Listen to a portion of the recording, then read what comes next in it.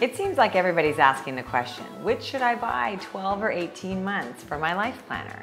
And if you're asking me, hands down, I would say get the 18 month book. And let me explain why. If you have 18 months, you can already be planning for 2016.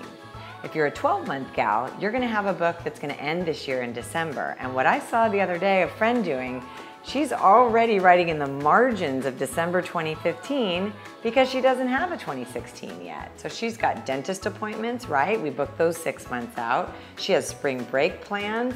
Kids are going back to school after Christmas dates, visits from grandparents. If you have an 18 month book, you're good to go. You can already start planning 2016.